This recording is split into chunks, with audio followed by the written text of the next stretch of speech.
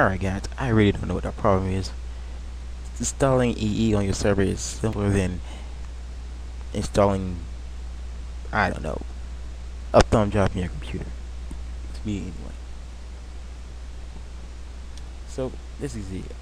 You open your server, you know, your Minecraft server jar. You open mod loader in WinZip or 7-zip or WinRAR, whatever you're using and just drag them in there. Same thing with Forge. Close both out. You do not delete do not delete META-INF. Keep it in there. Start the server.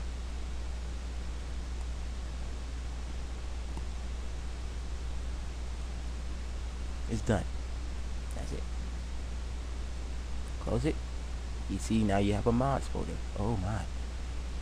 All you do is go to where you downloaded EE, the server version, and put it in your mods folder. That's it. That's all. That's it. That's all you do. Start it up. It's a mod loaded EE Minecraft Forge. You see this? Do not worry about it.